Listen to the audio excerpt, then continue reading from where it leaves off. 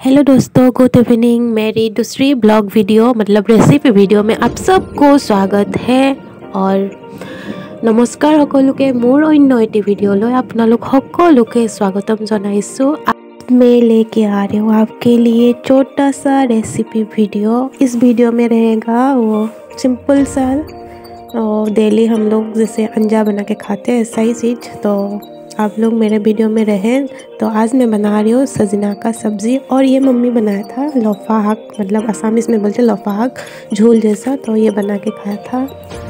तो चलिए मेरे वीडियो देखते रहिए।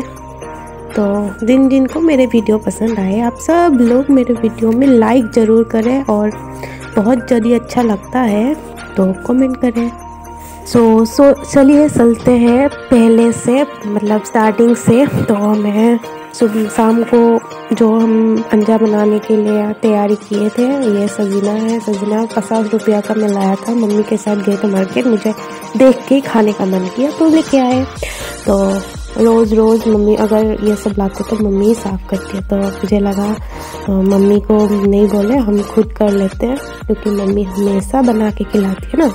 तो मुझे लगा मैं कर लेती। तो मुझे पता चला मम्मी को कितना दिक्कत होता होगा। हर चीज़ मम्मी करके खिलाती है, बनाती है। तो साफ़ करते करते मेरा उंगली इतना दर्द कर रहा था। क्या करें? फिर भी खाना तो पड़ेगा। मम्मी तो ऐसे ही करती है हमेशा। तो मुझे ये करने में आधा घंटा जैसा लग गया था। फिर मम्मी आ गया। मम्मी मुझे हेल्प किया। तो इसके साथ हम देंगे आलू और अदा लहसुन का पेस्ट दे के बनाऊँगी, बढ़िया से। बस वही था रहेगा। शायद मैं मछली दे दूँगी, छोटा मछली लाया था मम्मी तो वो भी दे दूँगी।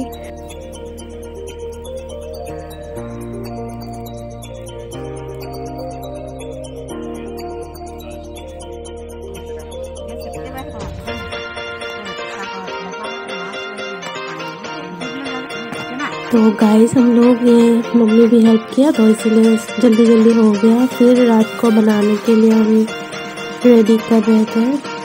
ये मेरा कढ़ाई में ऑयल गरम हो गया, थोड़ा सा ही ऑयल दिए हैं तो उसके बाद हम लोग मछली लाए थे मम्मी छोटा मछली, उसको भी रखे इसी में लेने के लिए। तो ये है अदा लहसुन का पेस्ट टमाटर और प्याज काट के हम रेडी करके रखे हैं, और ये है आलू और सजीना। प्याज दे दे ऑयल में। प्याज को थोड़ा अच्छे से भून लेंगे और जब तक प्याज नहीं अच्छे से पकेगा, तब तक हम कुछ नहीं देंगे।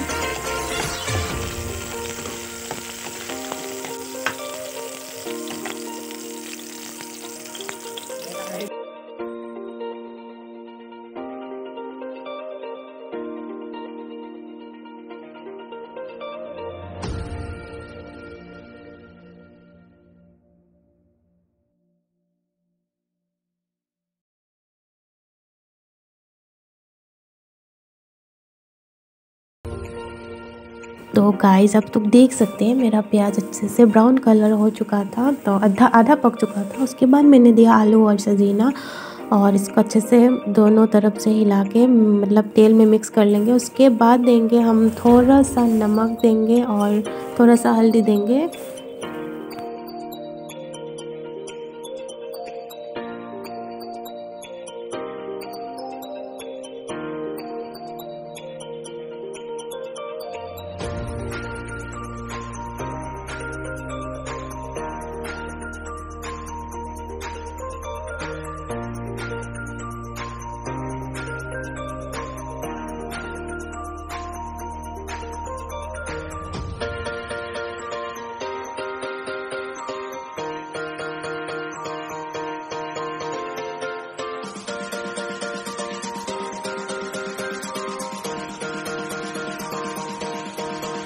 फिर मैंने दिया अदा लहसुन का पेस्ट और उसको अच्छे से मिक्स कर लेंगे।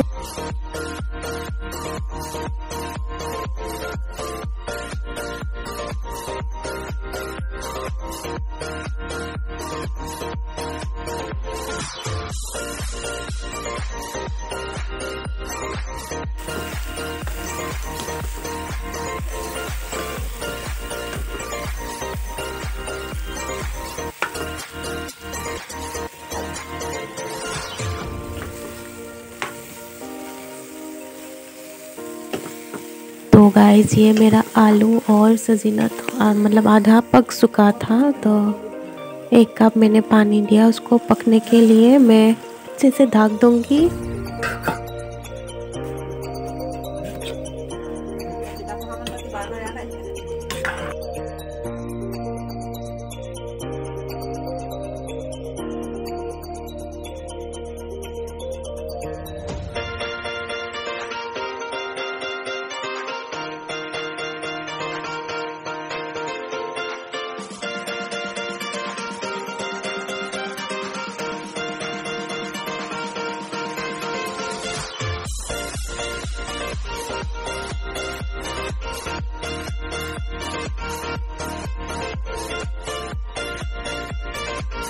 तो मैंने दे दिया टमाटर और छोटा मछली जो साफ़ करके अंजा में देने के लिए रखा था, वो भी दे दिया, फिर इसको अच्छे से मिला दिया।